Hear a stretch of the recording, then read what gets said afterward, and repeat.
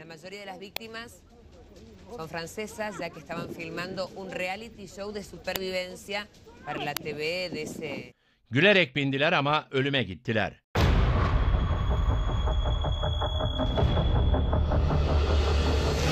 Bir gün önce Arjantin'de yaşanan helikopter kazası televizyon dünyasını yasa boğdu.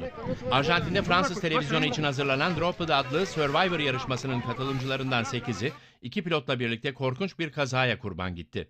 La mayoría de las víctimas son francesas, ya que estaban filmando un reality show de supervivencia para la TV de ese Uçuş öncesinde her biri başlarına gelecek felaketten habersizdi. Kurallar gereği nereye gittiklerini bilmemeleri gerekiyordu. Hepsinin gözleri bağlıydı. İnişe kadar açmaları da yasaktı.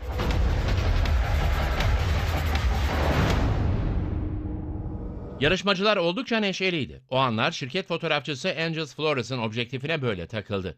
Pueden mirar allí a través del raíz. Lo único que se alcanza a ver Bu fotoğrafların çekilmesinden birkaç dakika sonra o kaza yaşandı. İki helikopter havada çarpıştı. Kaza sırasında bile yarışmacıların gözü bağlıydı. Sonuç facia oldu. 10 kişi hayatını kaybetti.